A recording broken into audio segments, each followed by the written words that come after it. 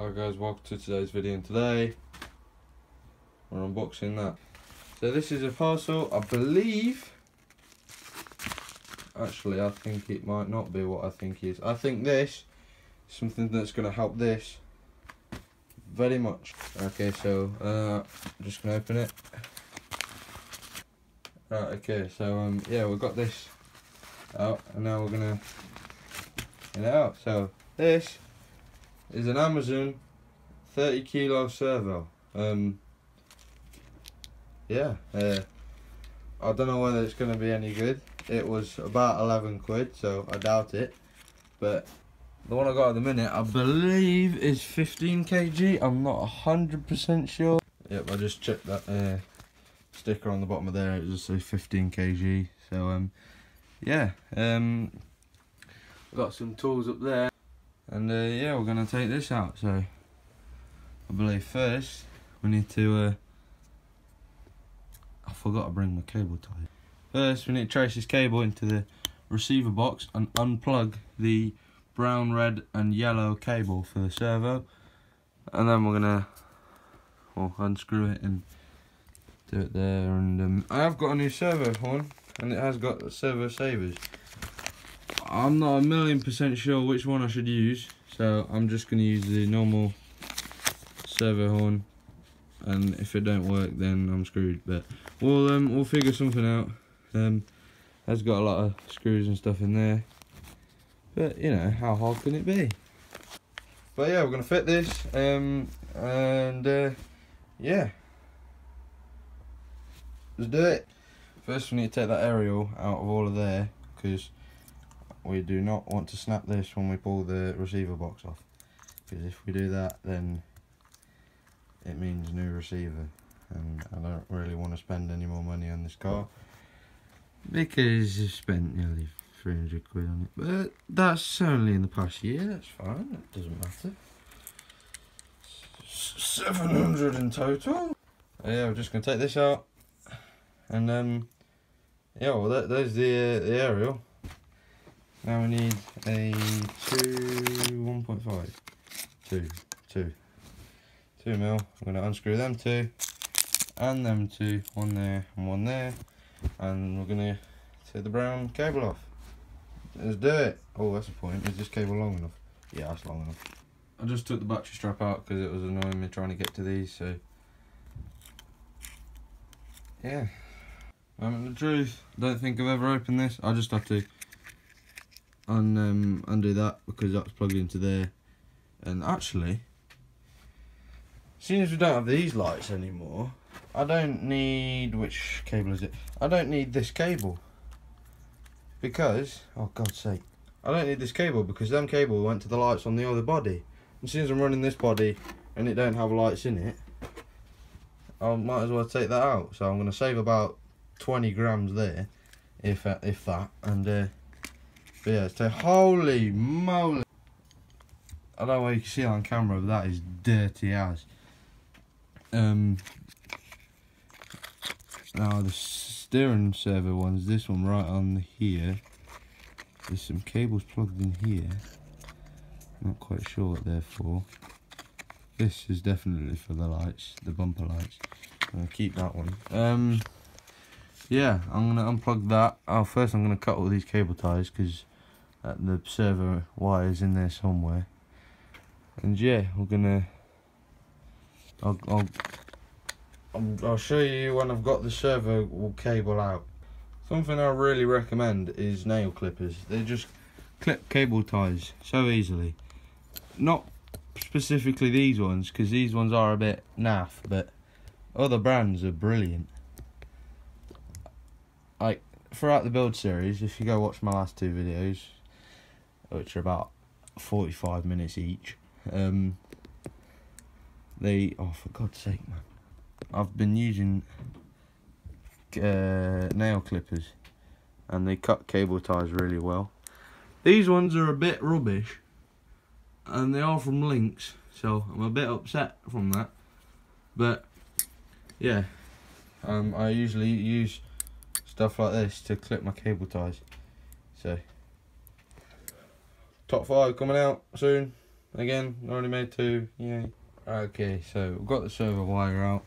I ended up using these to clip them. I don't know what these are, but they're sharp and they snip cable ties, so whatever this is, get one because this is rubbish. These are good. Just be careful when when you do it because I nearly cut one of these wires, but I didn't because I'm good. So yeah, that's that wire out. Uh, now we need to take. Oh god, we need to take the servo horn off. Which uh, might as well just unscrew that because we've got a new servo horn. So if I unscrew that, and then there's two screws either side, that should just slide out. If it doesn't work, I'm probably going to cry, but let's just see how it goes. Okay, all unscrewed now, so just, oh, that was easy. But, um, yeah, can't see it because, well, the stickers just fell off in my hand.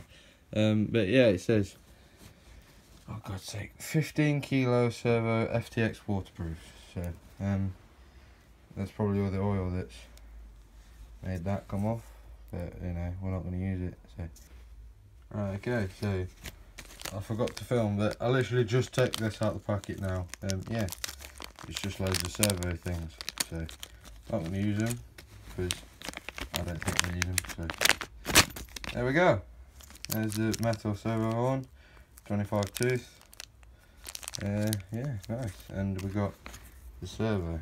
So it is a, um, well, whatever that says, a Deservo digital or it's, I don't know what if that's a brand or is it just off brand but yeah um we're not gonna install it yet but we're gonna just plug it in and check if it works because honestly I don't want to go through the hassle of putting all that back in if it ain't gonna work. So we're gonna try it so let's do that. Okay so I didn't actually know that lit up green but it works. And it's actually quite quick as well. Right, okay, so I got that in. Um, it's not connected to anything. And uh, I got that cable running all the way down there into where the refu uh, refuser, the receiver box will go. And um, I'm just going to wipe up a bit of this stuff because this greasy sand is not nice. And it's everywhere, so um, yeah. Um, the cable sits in there quite nicely. Uh, just got to put all this lot in for the lights afterwards. Uh, that one clips into the top of there and then that one because it's adjoined I can't take it out. Nice. Um, hold on, I'm going to see if I unplug that or if I unplug uh, never mind actually. Yeah, if I unplug that, will the bumper lights still work. Let me check that. Right, okay, so it didn't work. Um, yes, you do need this plugged in for the bumper lights. So we're going to keep that, but we're just going to do what I did before. Tuck that one down there, and then that plugs into the top of there, and it'll, it'll all look nice with all the cable ties on it. So uh, yeah, I'm to go find some cable ties and um, sort that out. Right, okay, so I've got that all wired back up again, and um, yeah, it uh, fits in there nicely. Wire's not too tight, and uh, all of this is a bit tight, but that's all solid in there now. Um, what we need to do now is turn all the steering trim down to like back to factory settings, and then turn the car on. And it should all like zip it back to center, and then we put the servo horn. Uh, yeah, 90 degrees from the, from the uh, from the um, what's it from the servo so it should look like that kind of if you can see that but on the other side so yeah I'm gonna go do that now and I'll show you once I've got that on alright okay so it's finished um, I know it's not to be perfectly lined up I've got the servo horn lined up with the servo looking at that it is actually a little bit wonky but you know it turns enough and um, I actually had to turn it down. I actually had to turn the, oh god's sake. I had to turn the steering servo down to just over 25%, you can see there, look. Because um, the servo, it turned that much, it was turning like this much. either way, and these um these axles they don't allow that much.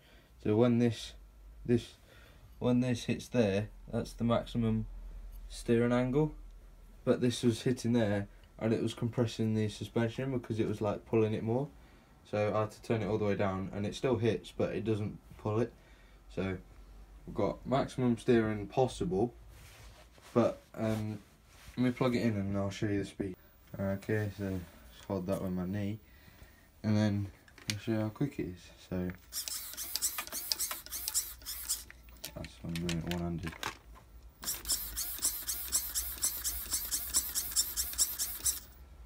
For a really, really cheap servo, that's fast. No, it's not at 100%, which means it will be quicker reaching the top, but that's that's quick for a crawler. But yeah, um, it's twice as much torque as what this has, and um, for starters, that isn't covered in grease, and this is. And this, I bought that servo over a month ago. I bought it from Banggood. I'll put the link in the description.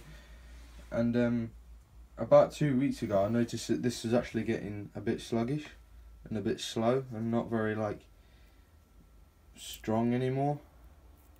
So um, yeah, I pretty much bought it just in time. But yeah, we've got a couple more videos of the build series left. I think we've got about two more. And then um, yeah, that'll be it done. And then we can go trail crawling and stuff. Sam has got some mods coming for his car. Not sure when, but yeah. But I might get the aluminium bumper mounts because there's loads of things you can get for this. You can get the bumper mounts, you can get this brace thing under here replaced, you can get that belly plate replaced, you can, what else can you get? Um, well, there's like shocks and stuff that you can get, but I might actually replace the shocks as well, but for the minute they're alright, so yeah. Um, turn it off now, pack everything away, do the steering alignment, I'm not going to video that because that's going to be boring. And yeah, hope you like the video guys and um, yeah. See you in a bit. Wait, wait, wait, wait, wait. Also subscribe.